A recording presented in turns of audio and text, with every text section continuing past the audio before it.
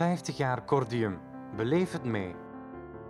Ons verhaal begint in 1963 met de oprichting van de negende sociale huisvestingsmaatschappij in Limburg, het Limburgste Huis. Negen gemeenten sluiten zich meteen aan. Niet lang daarna traden ook Viermaal Rood, Kortesem en Spouwen toe. In die eerste jaren ging alle aandacht naar de aankoop van bouwgronden, maar op 3 april 1967 gaat het eerste bouwproject van start. In 1970 nemen de eerste huurders hun intrek in de 34 sociale woningen in Hoeselt en in de daaropvolgende jaren ontpopt het Limburgse huis haar vooruitstrevende manier van werken.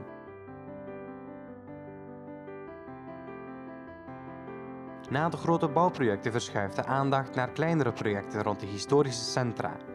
Mooie voorbeelden zijn het klooster in Belzen en de textielfabriek in Eigenbelzen.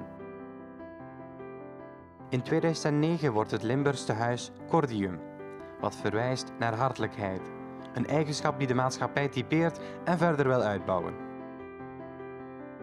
Een huis is namelijk meer dan een hoop bakstenen. Het is in de eerste plaats een thuis voor mensen.